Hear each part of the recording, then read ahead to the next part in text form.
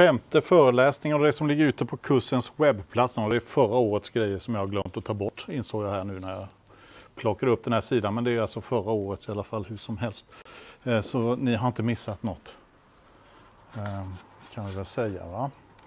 Eh, det som vi kommer att prata lite här om idag beskrivs väl inte sådär kanonbra i kurslitteraturen tycker jag eh, egentligen, utan då vill jag göra uppmärksam på de här externa resurserna som behandlar eh, lite av de här olika sakerna som vi ska diskutera här under dagen. Eh, men det står ju lite saker i alla fall hur som helst i kustlitteraturen som är av värde i alla fall. Så ni hittar ju det här då, History Methods, Prototypes and Constructors. Um, ja, och eh, de olika nyckelorden här nu då, det är inkapsling, egenskaper, metoder. Det är ingenting nytt egenskaper och metoder, det är bara annat namn på variabler och funktioner helt enkelt. Men i det här sammanhanget så kallas det egenskaper och metoder som vi ska behandla. Om. Så kommer vi in på någonting som heter this, designmönster, factory, constructor, eh, funktion, new och så vidare. Eh, en hel del småsaker onekligen. Va? Eh, vi får väl se hur smått det är i praktiken. Eh, det är väl inte mycket att hålla på, vi kickar väl igång det här och så är det femte föreläsningen.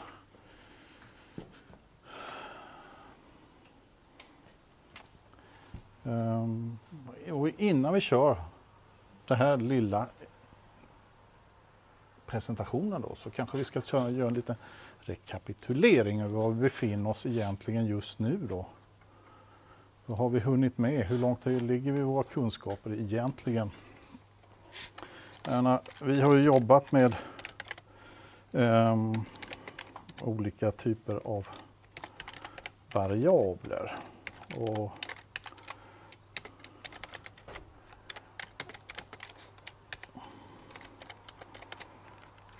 förra föreläsningen började vi prata lite om olika typer av objekt. Va? Men hur ska vi hantera det när vi ska slå ihop data egentligen? Det kan man ju fundera lite närmare på.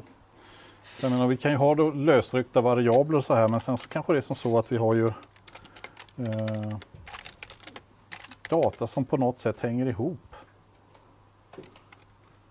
Du får säga till Johan också om du släcker här inne. Ja, så han får godkänna det där. Han kanske måste fixa med kameran då.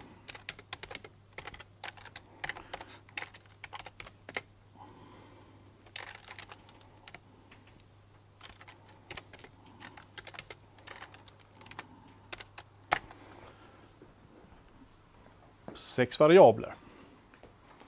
Men på något sätt så hänger de här ihop. Ja datat som de här variablerna. Menar, vi har ju ett namn och vi har en ålder så eh, det vi lärde oss senast här nu då att okej, okay, då kan vi skapa ett objekt som innehåller just namnet och åldern. Va? Och eh, det här är väl kanske någon form av person. Eh, och då kan vi skapa ett objekt som just innehåller namnet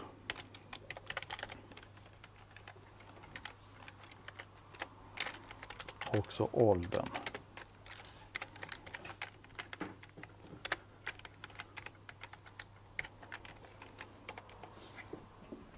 Så har vi alltså klumpat ihop, lärt oss att klumpa ihop data va? till ett objekt och ett objekt kan innehålla flera värden. Och I det här fallet så är det en sträng och det är ett heltal av typen number. Ehm,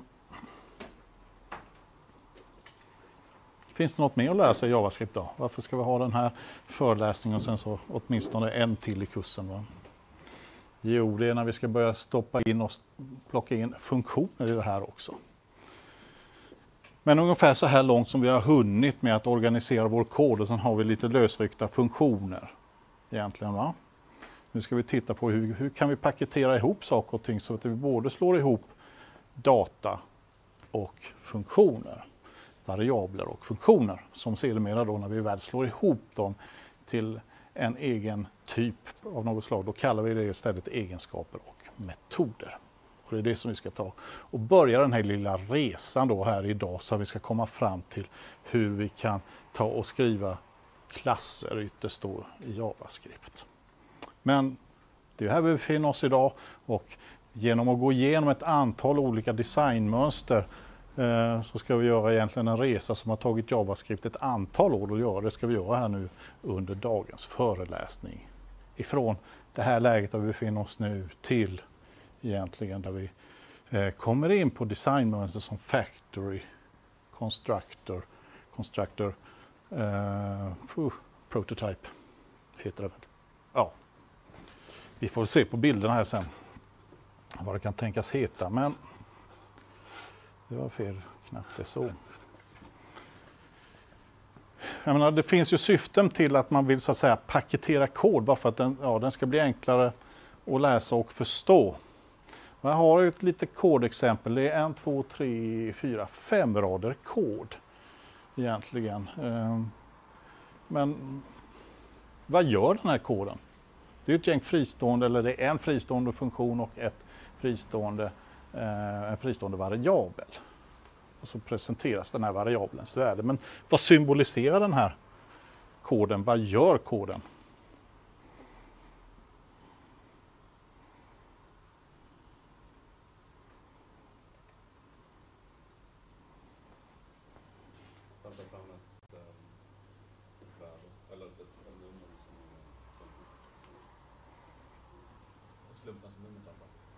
Okej, den plockar fram ett slumpmässigt nummer.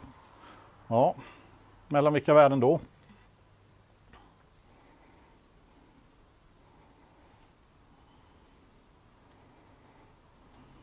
Ja, det är mellan 1 och 6 som det blir ett slumpmässigt nummer. Vad symboliserar den här koden då? För jag menar, det är uppenbarligen inte tydligt vad den här symboliserar, den här koden. va? Tänk så mycket enklare det skulle vara om vi kunde på något sätt paketera ihop det här så att man fattar att det här minsann har att göra med tärningskast med en tärning. Då skulle det bli väldigt mycket enklare. Här var det alltså en ja, fyra, fem rader kod som har med själva tärningen och tärningskastet att göra. Eh, Tänk när vi sitter i en applikation där vi har 10 000 rader kod. När vi har 100 000 rader kod, när det finns en miljon rader kod. Alltså, då gäller det att vi organiserar våra applikationer på ett sådant sätt så att koden som skrivs är tydlig. Och det är det vi ska titta lite närmare på. För det vi kan göra här istället för att de här variablerna och funktionerna är lösryckta så kan de kapslas in i ett objekt. Och ett objekt, förutom att den kan innehålla variabler eller egenskaper då, så kan den också då innehålla funktioner eller metoder som vi kallar det då när det, när det är inkapslat i, i ett objekt. Och det är väl det första steget vi är tvungna att ta här nu då. Vi ska titta lite närmare på det här. Så istället för att ha det lösryckt då, som vi började med här, så ska vi stoppa in det här i ett objekt som symboliserar en tärning.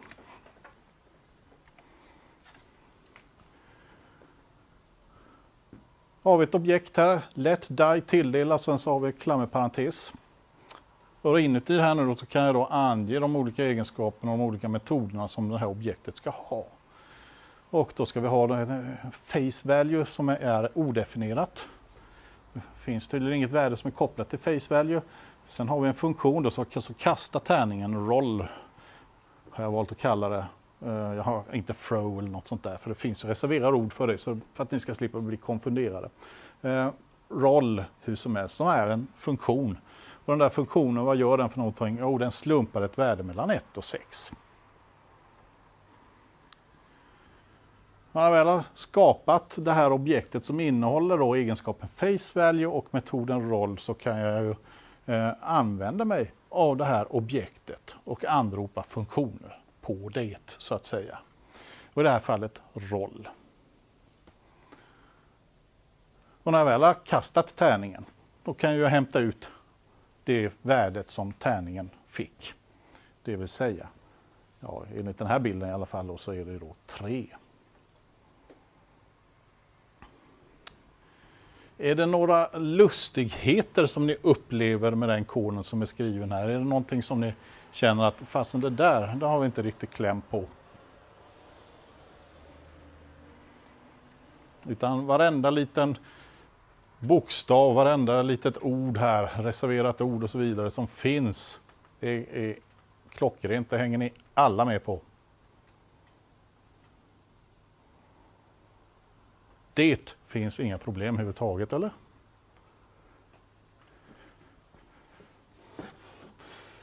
Ni är ett gäng lögnare.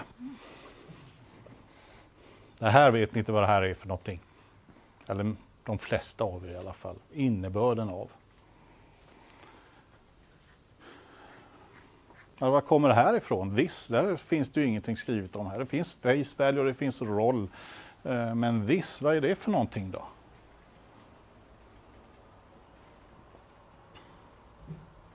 Ja, det är en automatisk variabel som skapar. Som, om man uttrycker det lite slarvigt, men det brukar vara lätt att komma ihåg vad det här innebär då. Att det refererar till det objekt som anropade funktionen. Så det här objektets egenskap face value tilldelas ett slumpmässigt värde. Så kan man tänka runt omkring det här. Så att this, det kan man fundera på, liksom, okej, okay, det är objektet som kör koden. Det är, så, så är det ju inte i, i verkligheten, utan det är någon annan som kör den här koden. Alltså, men det kan vara en liten förenkling så att säga som gör det enklare så att, och, förstå vad det är för någonting som händer och sker när vi skriver this och sen så punkt. Den refererar hur som helst till objektet som initierade att, att eh, metoden roll anropades. Så vilket objekt var det då? Jo, det var ju det objektet som DAI refererar till.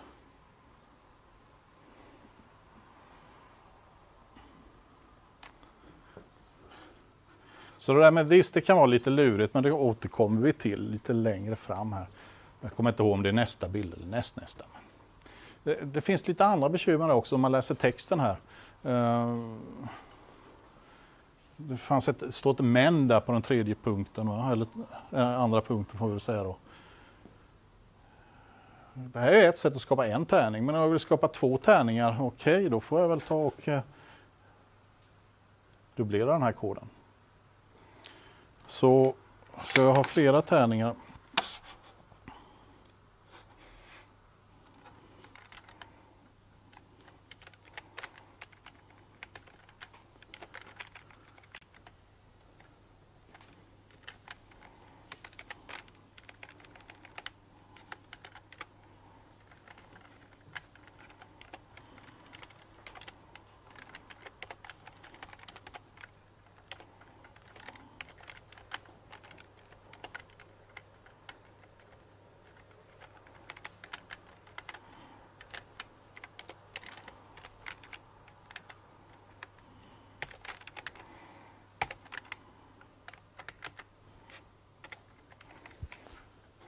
Så måste jag alltså ha flera stycken sådana här objekt. Va?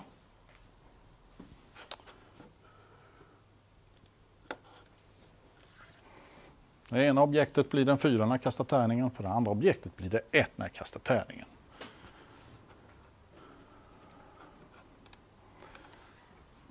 Och det här blir ju såklart problem om det nu är som så att jag har objekt som innehåller både egenskaper och metoder. Om jag nu behöver en miljon tärningar. Då blir det en miljon upprepningar av den här koden. Va? Inte så himla bra egentligen då. Så därför så eh, måste vi gå vidare på ett nytt sätt. För här, så här var man tvungen att göra i början då innan folk hade börjat sätta sig ner vid sina tangentbord och fundera på hur löser vi det här problemet med att jag måste duplicera den här koden. Det finns ju en princip som man aldrig ska bryta emot. Ehm, som heter DRY, D-R-Y, Don't repeat yourself. Vi ska alltså inte upprepa oss själva. Va? Så kan vi hitta på konstruktioner när vi skriver vår kod som innebär att vi slipper göra det, så är det bra. Det är en fördel. Men det är uppenbart vansinnigt att eh, kopiera det här objektet en miljon gånger om jag vill ha en miljon tärningar. Va? Sen när jag väl har gjort det där så tänker jag, ah sjuttsingen, vi ska inte ha en sexsidig tärning, vi ska ha en åttasidig tärning istället. Eh, så istället för att multiplicera med 6 då, så ska vi multiplicera med 8. Jag vill uppdatera det på en miljon ställen i min kod. Inte så bra. Så jag menar, vi måste ha ett, ett, ett alternativt sätt att lösa det här problemet. Så eh,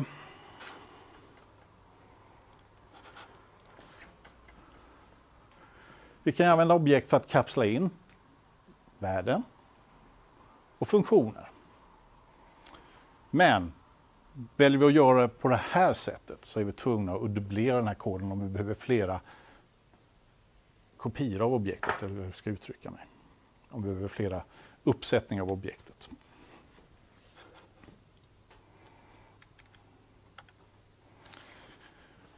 Men innan vi rotar vidare i hur ska jag då skriva koden för att undvika den här dupliceringen då, så måste vi ha lite mer koll på this för att vi ska kunna fortsätta resonemanget här.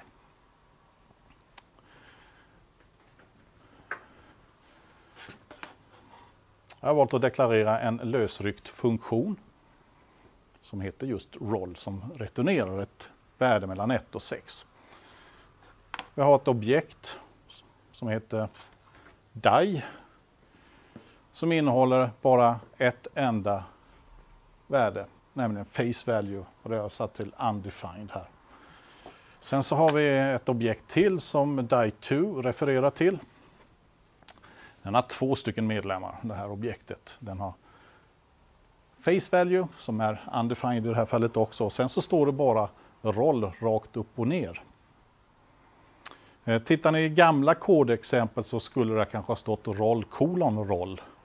Men det behöver man inte skriva längre enligt den nya standarden, utan går det jättebra att bara skriva roll där. Och det innebär helt enkelt att det här objektet egenskap roll refererar till funktionen som är deklarerad tidigare. Va? Så eh, nu kan jag då ta och ta min mitt objekt som är DAI2 refererar till och anropa metoden roll, ah, sorry, roll rakt upp och ner för det, de hänger ihop de här. va. Och I det här fallet så är det ju så att this refererar till det som DAI2 refererar till. Så this och DAI2 refererar till exakt samma sak i, i och med det här anropet. Det vill säga det här objektet. Och där hittar vi just face value. Så this face value, det är samma sak som die2 face value. Okej? Okay?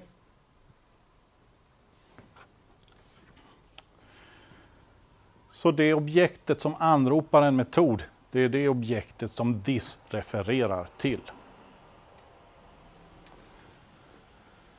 Och sen så har jag ju någonting innan här. Alltså, vi hade ju bara ett objekt som innehöll en enda egenskap, face value i det här fallet. Kan den anropa på något sätt den här funktionen? Ja, det kan den. Med hjälp av till exempel call. Så då börjar man börja med objektet istället, eller funktionen förlåt mig här istället, roll. Och sen så anropar man den med call och sen skickar vi med en referens till det objektet som så att säga som this ska vara. Och I det här fallet då, när man skriver roll.call die där så kommer this att referera till samma objekt som die refererar till.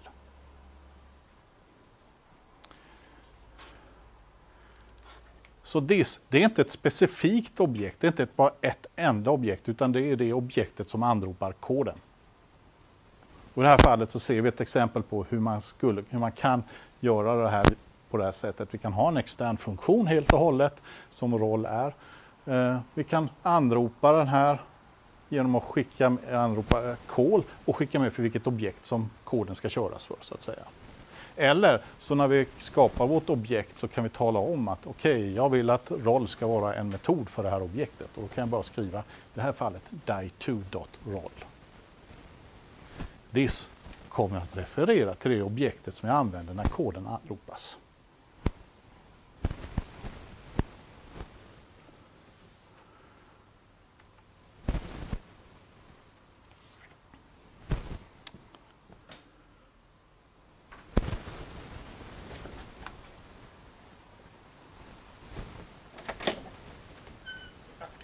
Micken lite. Den där.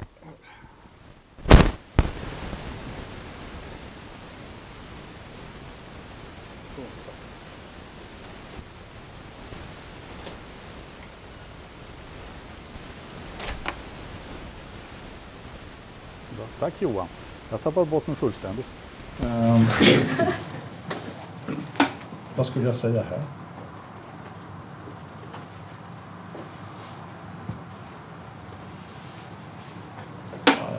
Samma sak som vi pratade om här tidigare. Mm.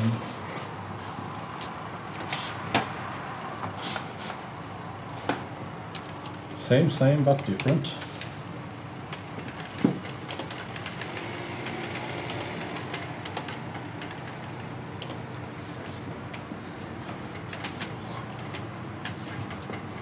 skapar en funktion. Hittar ni någonting annorlunda i den här nu då? Och säg inte diss för det kan ni nu.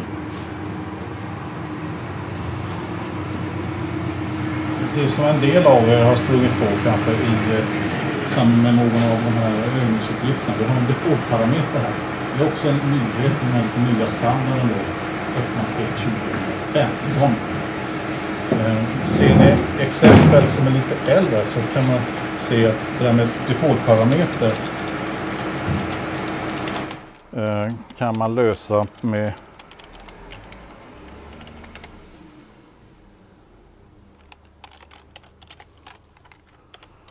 den där operatorn som jag aldrig kommer ihåg vad den heter i JavaScript. Den där med andra ord. Eh, det här betyder helt enkelt att om det är som så att greet inte har något värde här, undefined, null, tomsträng, eh, noll eller någonting sånt där, någonting som inte betraktas som, som sant hur som helst, eh, så kommer greet att tilldelas strängen hej istället. Default value, standardvärde. Ett gammalt sätt att göra det här på. Ett nyare sätt är att skriva det uppe i parameterlistan i samband med att parametern skapas. Va? Så är det som så att greet inte har något värde, man anropar den här funktionen utan att skicka med någonting, då kommer greet att få värdet hej. Så då kommer det stå i så fall hej, jag och sen så objektets egenskap namn och dess år. Va? Så skapar vi den här simple person här. Och sen ska vi då ha två stycken egenskaper, name och age. Den har en metod talk som vi då, vad ska den exekvera för kod? Jo, ja, den funktionen som smalltalk refererar till. Så nu har vi en funktion då som, är, som i, i botten är ett objekt. Då.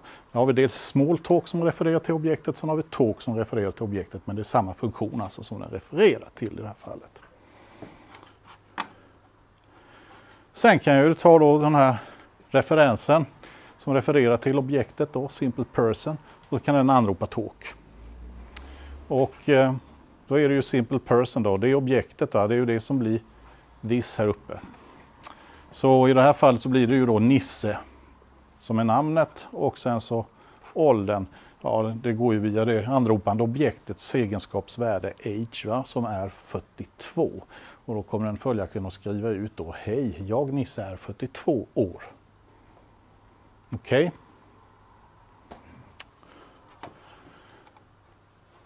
Sen kan vi ha en annan, lite enklare person då.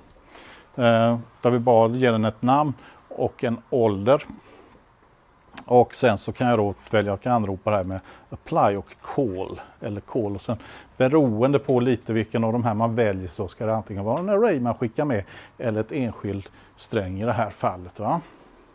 En del av er använder väl typ math apply eller math call i den här eh, examinationsuppgift 1. Och det här som är lite bakgrunden till det hela, att man är tvungen då eh, kanske att eh, skicka med lite olika typer av argument. Va? Men hur som helst, oavsett om jag väljer att anropa den på det här viset eller med small talk apply eller small talk call, så this refererar till det objektet som initierade anropet. Det är objekten som kör koden kan vi då säga. Så blir det enkelt att hänga med på vad this innebär. Eller enklare i alla fall.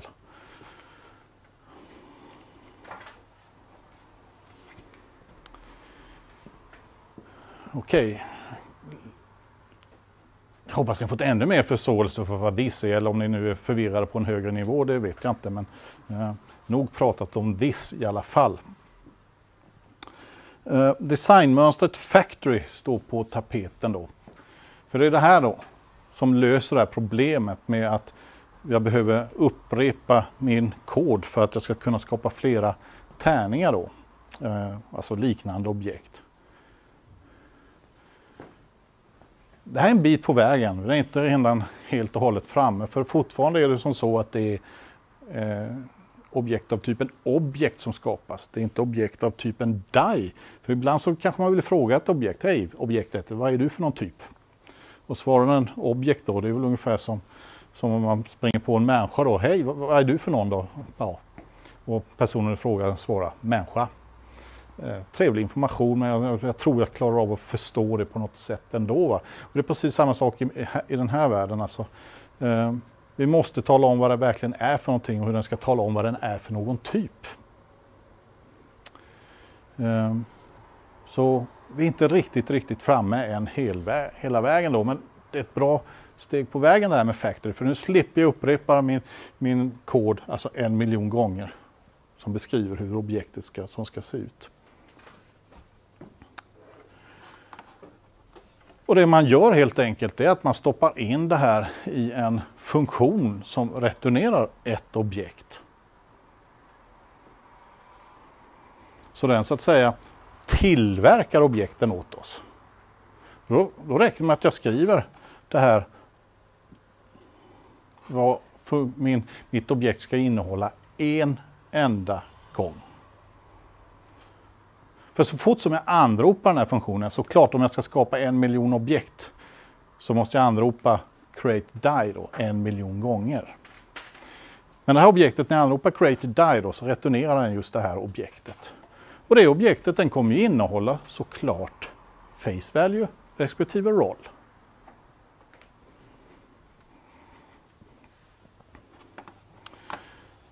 Så om jag vill skapa en tärning nu då, okej. Okay. Anropa funktionen och sen så har jag en referens till det här objektet som har skapats och så. Let die tilldelas create die. Och sen så kan jag då därefter kasta tärningen. Så eh, nu blir det ju lite lättare om jag vill skapa flera. Aj, aj, aj.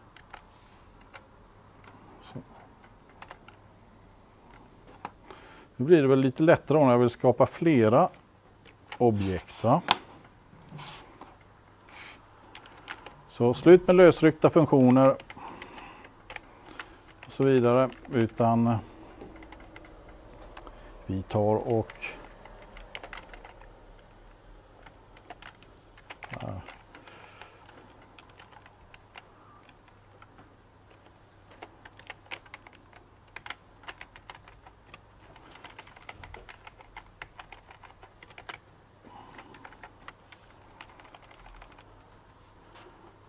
skapa två stycken tärningar.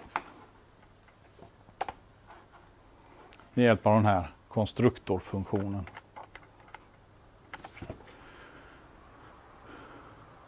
Nu behöver jag inte skriva hela den här deklarationen av ett objekt med en, en enda gång.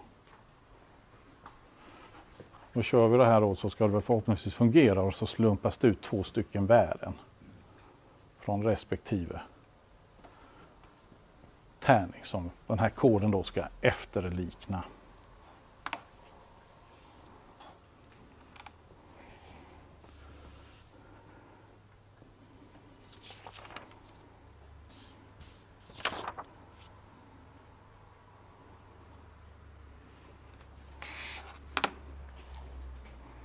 Så med hjälp av en funktion som returnerar ett objekt så kan vi förenkla det här och det här kallas då, alltså det här är ett factory pattern, alltså ett designmönster som heter factory.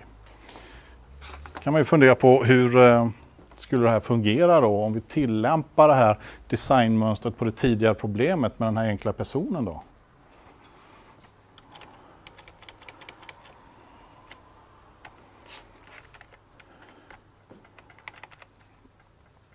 Ja, vi kan väl ta och flytta om det här till att börja med lite grann i alla fall. Um.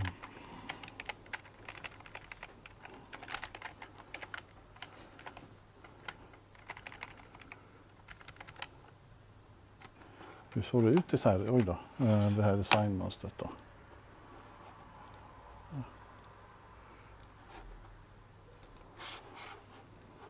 Let create die lika med function och sen så let obj och sen returnerar man obj va. Det var så det var. Let create simple person är lika med function.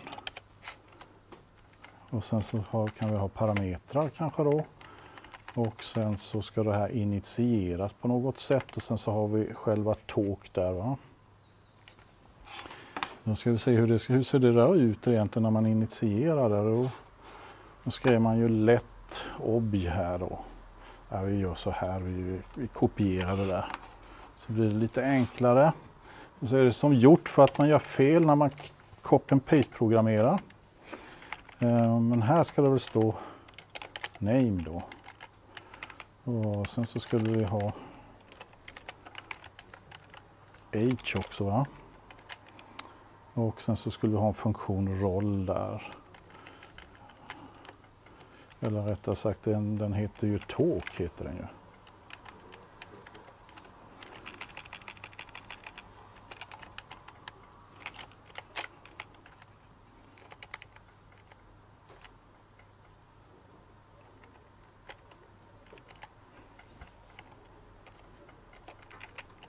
Ah!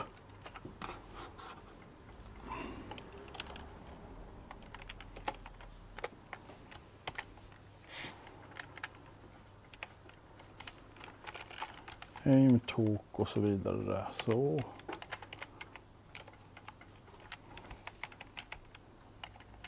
Det är en massa fel här så allt skift eller allt enter så rättar den väl allting. Eh, namn och age, de ska väl inte vara odefinierade så det är väl schysst om jag kan sätta dem via några argument då som använder mig då av de här parametrarna som finns i den här funktionen.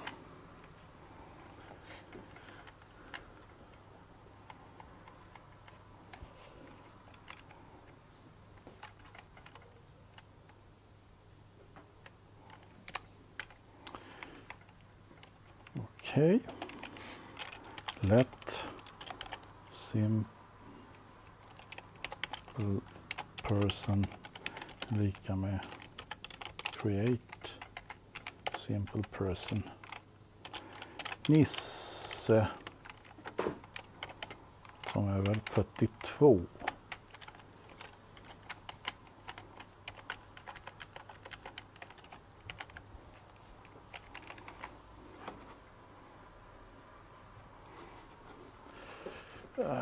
Ja, det kan vi ta. Nu har jag gjort om den här eh, till, en, till en factory som alltså create simple person som alltså kommer att skapa objekt med två egenskaper, name respektive age samt en metod som heter då talk. Och funktion, eller metoden talk här nu då, den har en, en parameter som heter greet som har ett standardvärde, hej. Så anropas den här funktionen utan att jag skickar med något argument så kommer den att skriva ut hej och så vidare. Va? Så förhoppningsvis det som kommer ut här nu då nu när jag har anropat den här funktionen med argumenten Nisse respektive 42 så kommer det bli som så att när man sen då på raden under anropar talk här utan att skicka med någonting så kommer det vara som så att greet kommer ha värdet hej.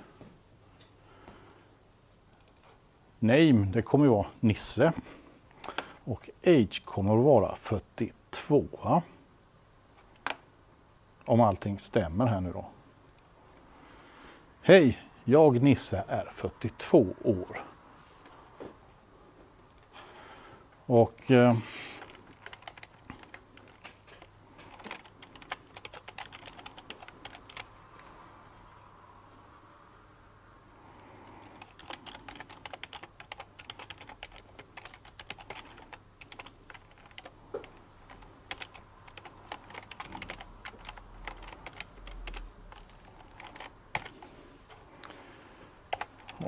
om jag kör med another uh, simple person talk.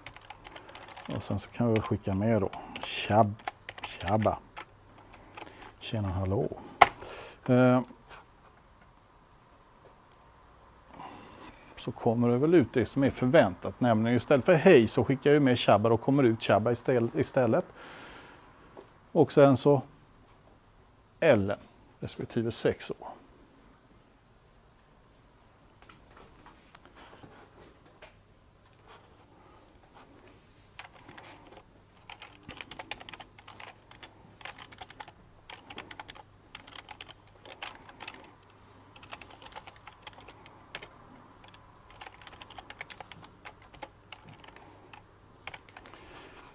Med hjälp av type of så får jag reda på vad det är för någon typ egentligen som den här simple person är av. Va? Vad den refererar till i det här fallet. Så ja, okej, okay, det är ju en simple person men det ut så kommer det objekt som ni ser. Va? Så det är fortfarande som så att det är ett objekt som vi använder oss av här.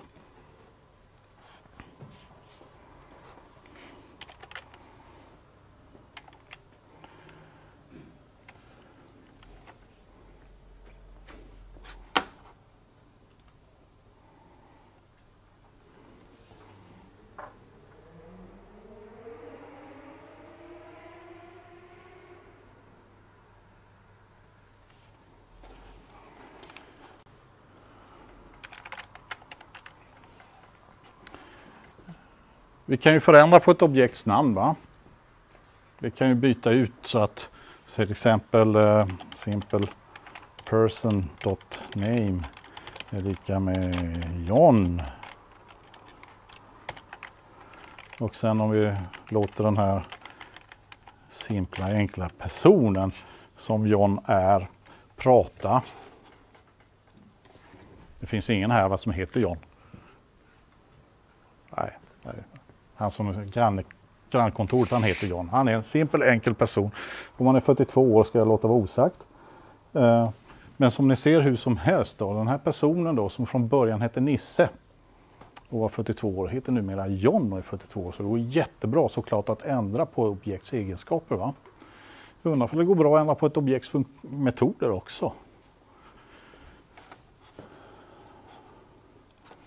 Vi kan ju prova. Simple person och sen så finns det ju faktiskt en metod som heter talk. Och eh, jag ska vara lite mer enkelspårig då. Och eh, eh, function. Ah,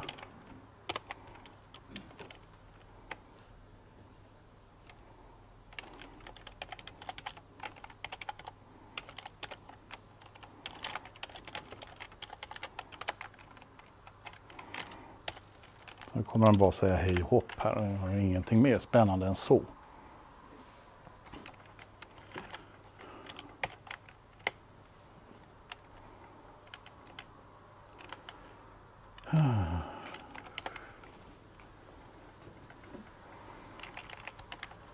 Så får vi väl låta den här enklare personen prata lite då. Va? Och ut kommer det hej hopp alla längst ner. Va? Jag undrar om det här på någonting har blivit påverkat på den här andra personen då som vi hade.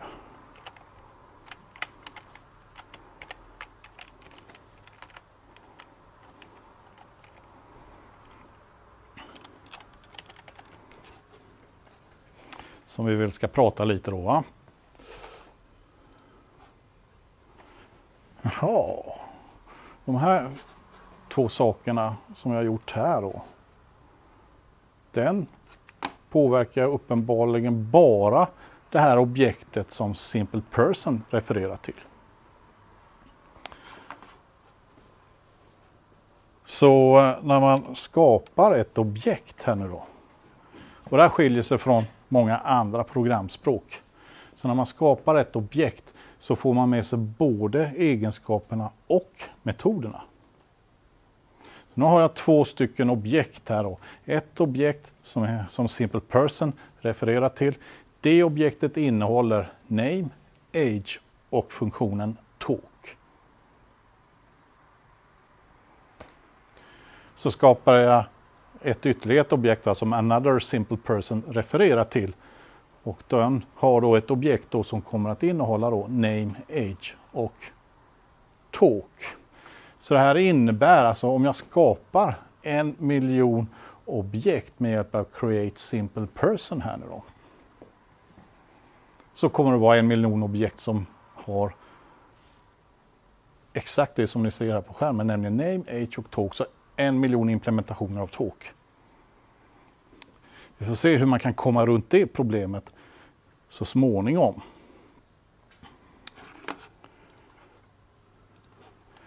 Men när jag väl har ett objekt då har jag fullständig frihet att ändra på det där hur som helst. Va? Både på egenskaper och metoder.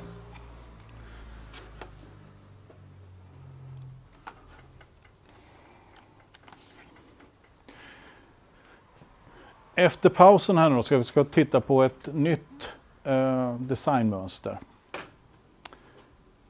Som heter, kallas då Constructor.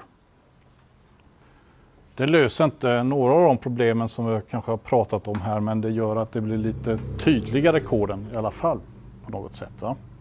Men efter pausen så tittar vi på Constructor och de andra återstående designmönstren som finns här också. Jag kan bara rekommendera att ni går in och tittar på den här övningsuppgiften som heter Lego-konstruktören. Ehm, den här uppgiften består nämligen av tre olika delar. Det är exakt samma problem som ska lösas men med hjälp av olika designmönster. Och ehm, det som vi gick igenom här nu innan pausen, det handlar om det som kallas då Factory, alltså Factory Pattern. Och ehm, just den då så kan man då ta och kika på Lego Part 1. Så genom att göra den övningsuppgiften så kan ni förhoppningsvis då få lite mer kött på benen beträffande designmönstret Factory. Så finns det två delar till här då. Eh, Constructor Pattern och Constructor Prototype Pattern eh, dessutom. Och, eh, det är väl de som vi ska prata om de här kommande eh, 45 minuterna eller hur länge vi nu håller på idag.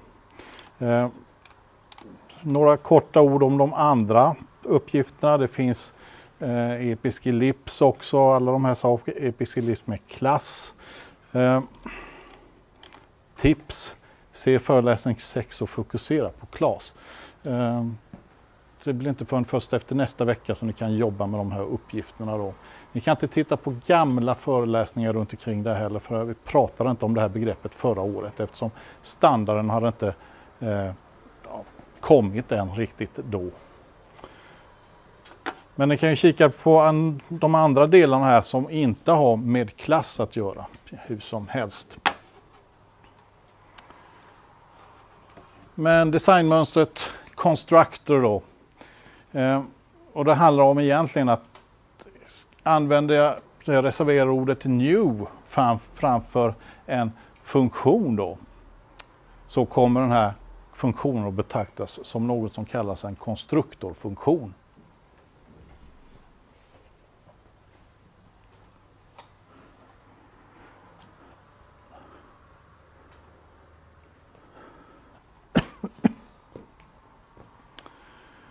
Och när man då använder en konstruktorfunktion och sen därefter skriver den här, eller innan konstruktionen skriver new, så det som vi får tillbaka då, det är en instans av den här konstruktorn.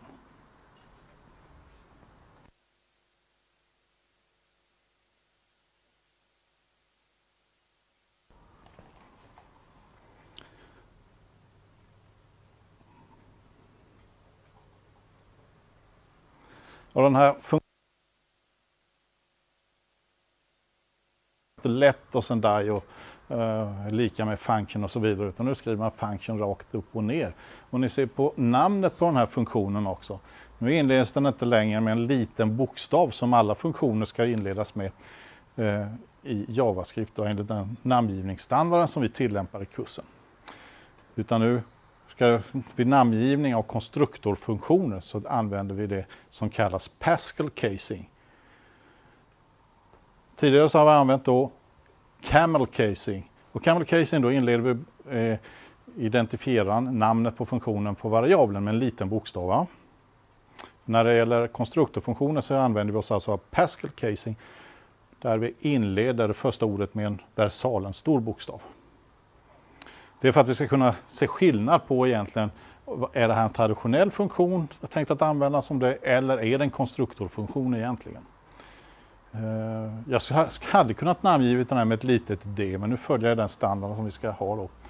Och inuti den här funktionen så lägger vi till ett antal olika medlemmar. I det här fallet då face value som är en egenskap och sen så har vi en metod då som heter roll.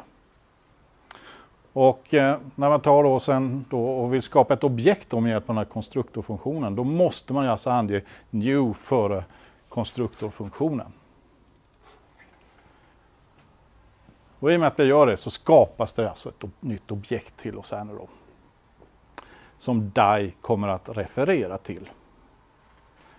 Och jag kan använda det här precis som de tidigare objekten såklart. Jag kan anropa medlemmar som roll till exempel. Jag kan få reda på de olika egenskapernas värden som face value till exempel.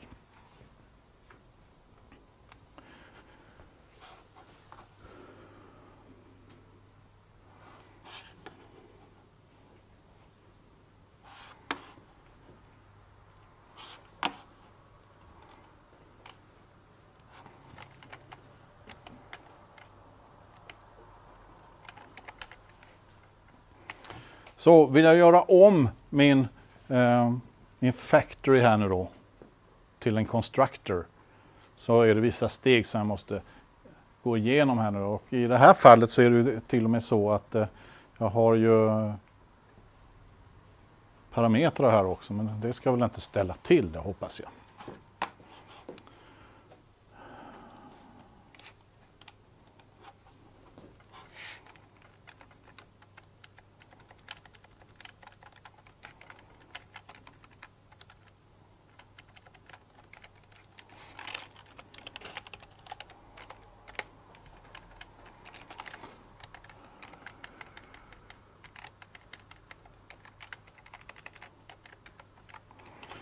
Använder jag this.name tilldelas. This.age tilldelas age och this.talk tilldelas den här funktionen.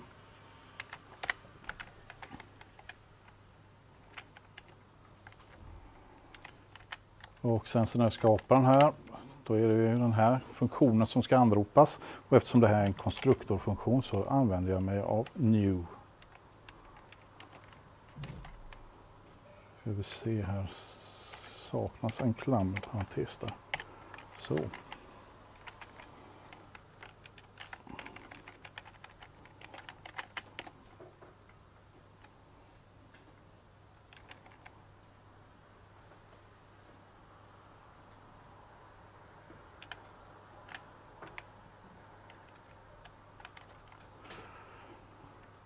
Där får vi se hur det här funkar.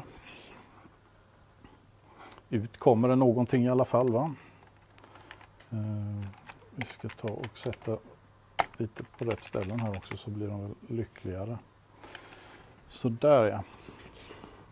Inuti den här konstruktorfunktionen så kan jag då ta och skapa egenskaper och metoder. Och eh, ett sätt att göra det där på är till exempel att skriva this dot och sen ja, ta hand om det värdet som vi skickar in till funktionen. Och this.h tilldelas h. Så det värdet alltså som respektive parameter har här sparar vi undan i objektet.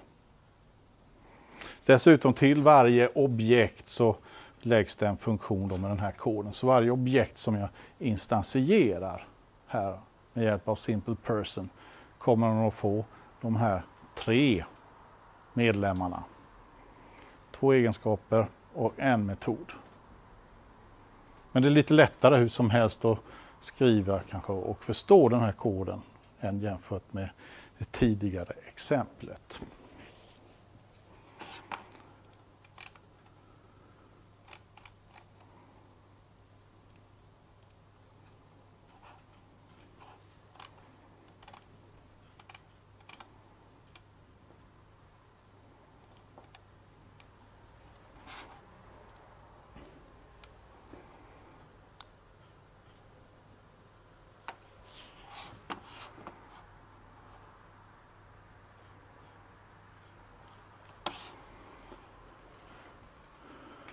Så designmönster constructor. Function och så namnet. Namnet inleder vi med stor bokstav. Vi kan skicka med argument. I det här fallet som eh, är det förenklat det här exemplet så vi har inga, inga argument som vi tar emot i någon parameter. Men den ska innehålla i alla fall ett face value som i form av en egenskap och roll som är en funktion. Och när vi skapar objekt här nu då så använder vi oss av new och sen ja, namnet på konstruktorfunktionen helt enkelt och vi har ett nytt objekt.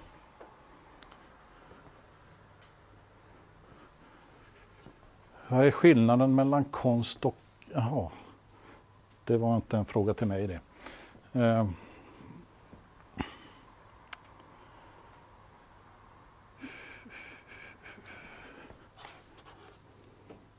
Fortfarande är det ju nu så här då att eh, varje objekt här som skapas får en kopia på funktionen roll. Så objektet innehåller både data och ja, kod. Om ni förstår vad jag menar. Det är egentligen ingen skillnad mellan data och kod.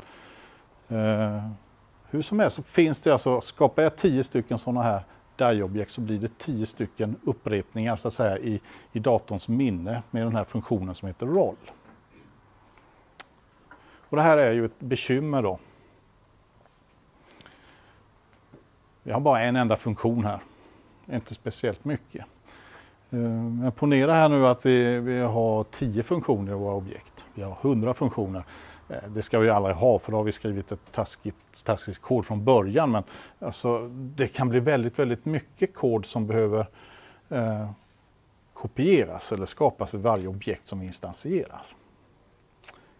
Så det här var ju ett problem såklart.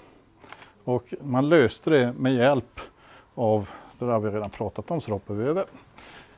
Löste det här med hjälp av ett designmönster som heter Prototype som JavaScript används av. Nu ska jag inte prata om Prototype lösryckt utan när jag kombinerar ihop Constructor ihop med Prototype. För det som man åstadkommer med hjälp av det här det är nämligen att vi plockar ut funktionerna ifrån konstruktorfunktionen och lägger dem utanför och kopplar dem till det som benämns som en prototyp eller prototype. I och med att vi gör en sån här konstruktion nu så kommer det bara att finnas en enda upplaga av den här funktionen roll i primärminnet. Oavsett om jag skapar 1, 2, 10 eller fler objekt av typen DIE. Det kommer såklart finnas 1, 2, 10 eller fler egenskaper med namnet face value för varje enskilt objekt alltså. Men det kommer bara finnas en enda rollfunktion som alla objekten delar på. Och det görs då via det, det som benämns då prototype. Så om vi ska ta och förändra det lilla exemplet som vi har så att vi vill göra det här så att vi slipper få en kopia för varje instans av metoden talk. så kan jag alltså ta bort den ur min konstruktorfunktion. Och sen när jag ska skriva min prototypmetod här nu då. Så skriver man då namnet på konstruktorfunktionen och prototype och sen så namnet på metoden. Och den ska ju tilldelas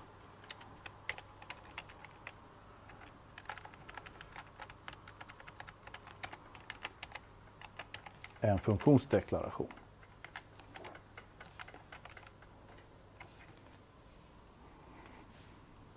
Observera här nu att nu befinner vi oss inte längre inuti konstruktorfunktionen. Simple person, men trots det här så kan jag använda mig av this. För det kommer att referera till det objektet som anropade metoden.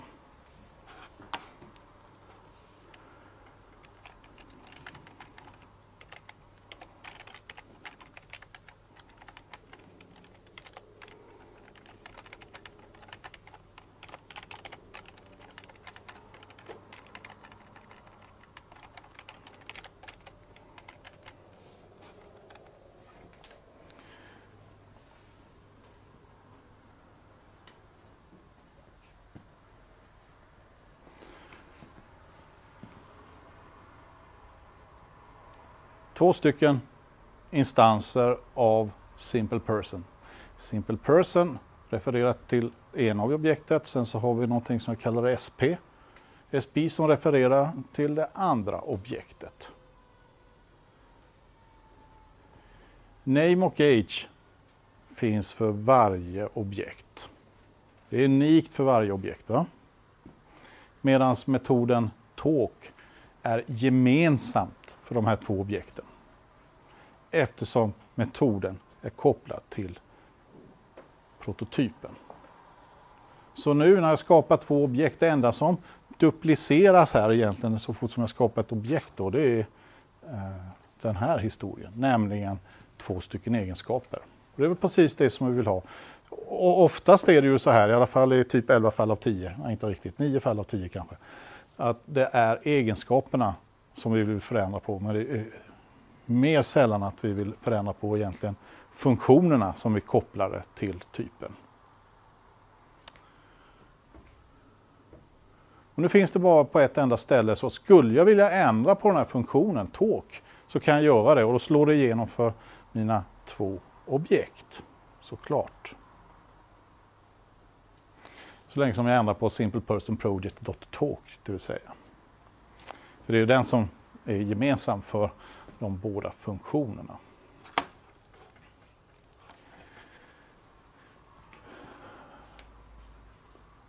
Det fungerar som tidigare. Okej, okay. this refererar tre objekt objektet som anropar och har objektet då eh, name och age-värdena då, Nisse och 42, så får jag ut då hej, jag Nisse är 42 år.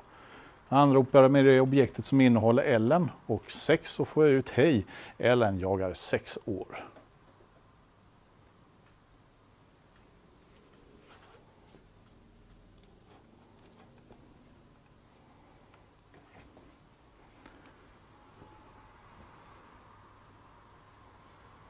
Svårare än så här blir det inte. Ta i trä. Eh, såklart blir det svårare, men alltså rent principiellt så blir det inte så mycket mer som den här kursen faktiskt kommer att omfatta.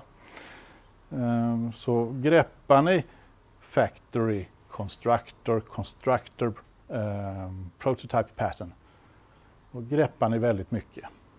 Det gäller att fylla det här såklart med innehåll som löser problem som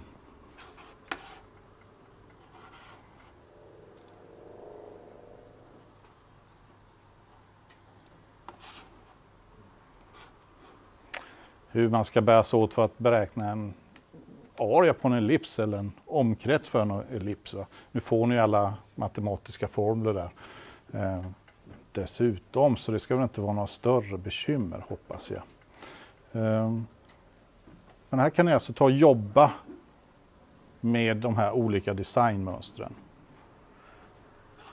Men jag rekommenderar som sagt börja med legokonstruktören och gå igenom de där tre olika nivåerna här, eller tre olika designmönster då, som Factory Pattern, Constructor Pattern och Constructor Prototype Pattern. För det som jag ska ta prata om eh, nästa föreläsning, det bygger ju såklart vidare på det som vi har pratat om här idag. Då ska vi titta lite närmare på hur kan man återanvända kod? Hur kan jag göra, jobba med någonting då som heter arv? Och då kommer vi också att ramla in på lite alternativa sätt till att skriva koden till så som jag skrivit den idag när vi tar och använder oss av eh, reserverar ordet class då, som har kommit med ECMAScript-standarden 2015. Eh, I vissa avseenden så blir det väldigt mycket enklare.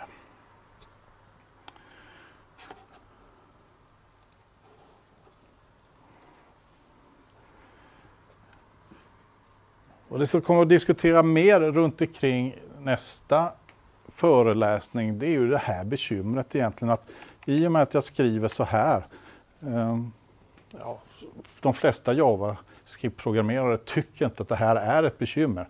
För jag kan ju sätta name och age till vilket värde som helst. Då.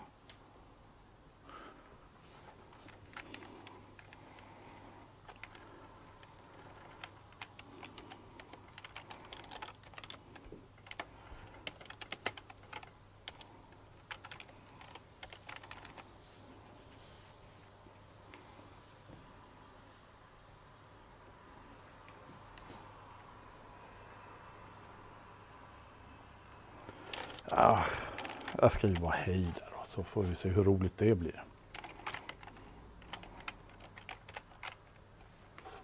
Jag var tvungen att fundera på vad som kom ut så det inte kom ut något olämpligt.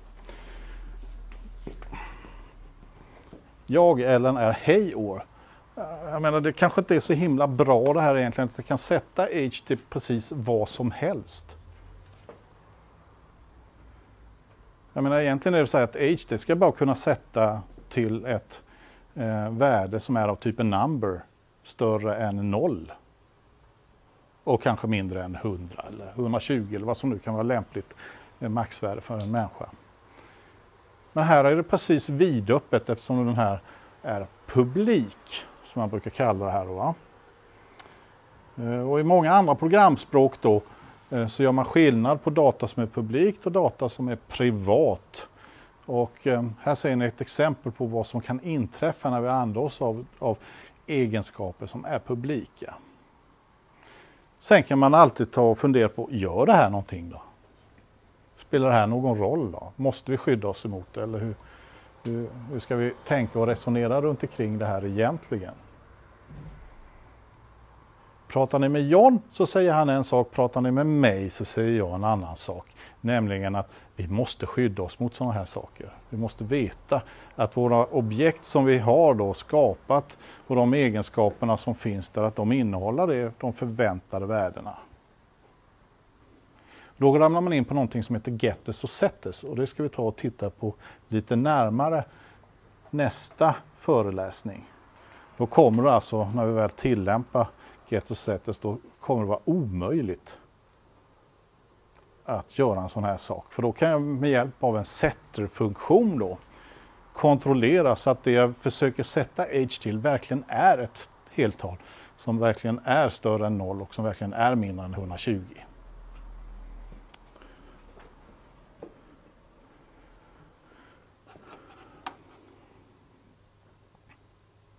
Ja, nog om det.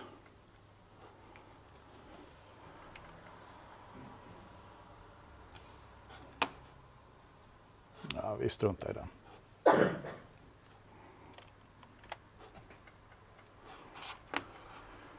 Nu ska vi se.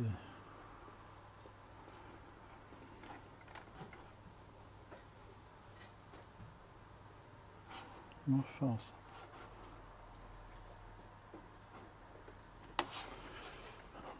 Återigen vill jag bara påpeka, titta på legokonstruktören. Titta gärna på de andra uppgifterna där också där det står att ni, det räcker att ha den här föreläsningen som förkunskap egentligen. Um,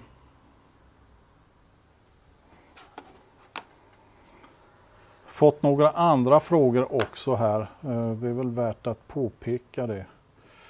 Kanske ta upp det.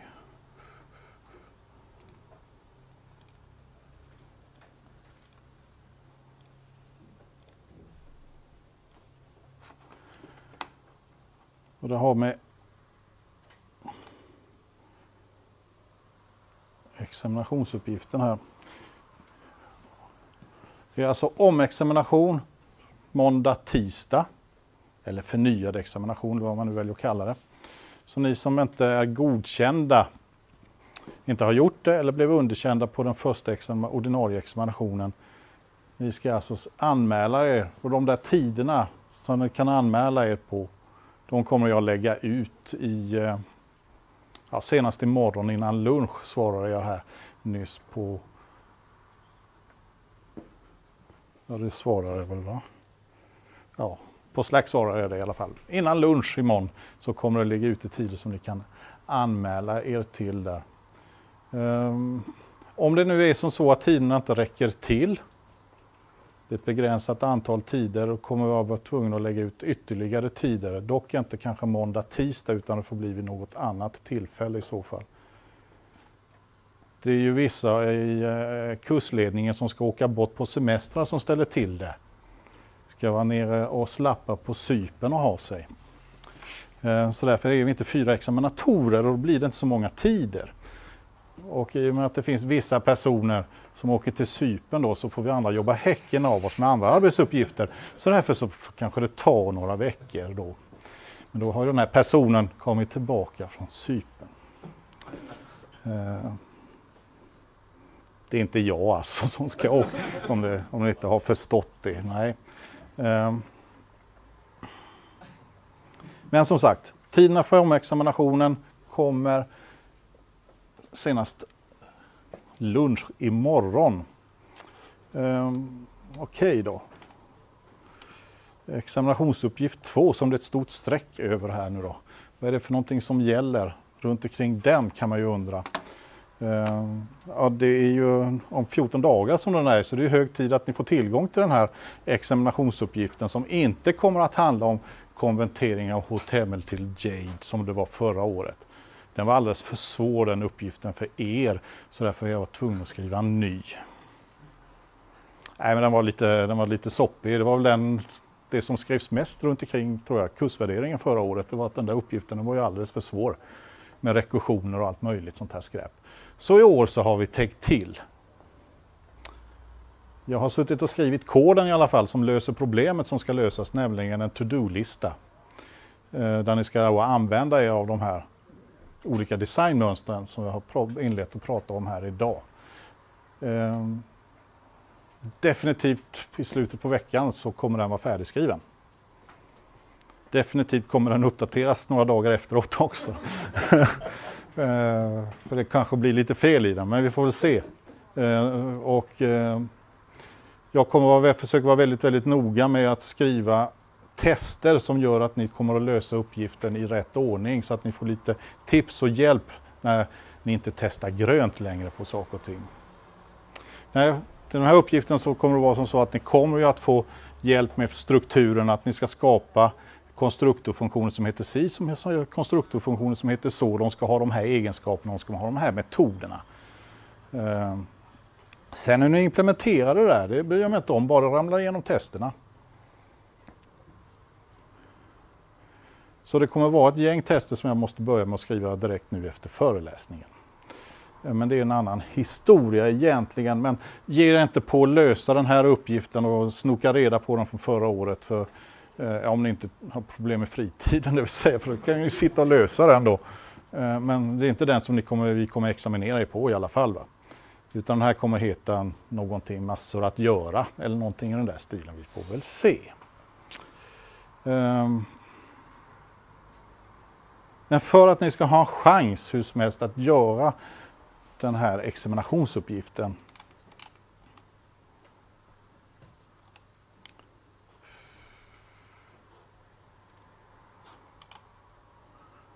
Ska vi se om jag hittar, del två heter det ju.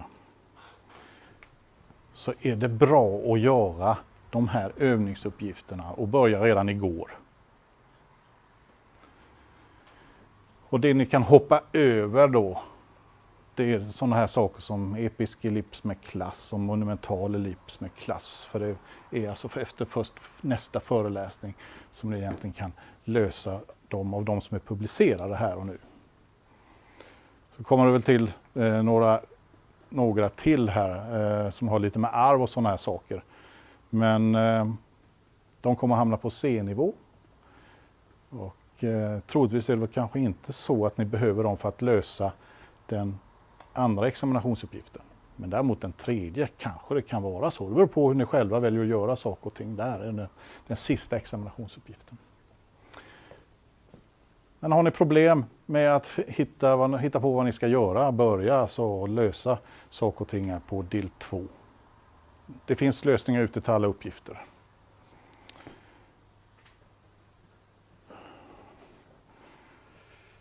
Så. Jag tror det får räcka så. Ni har nog att göra ändå, tror jag. Så eh, tack för idag.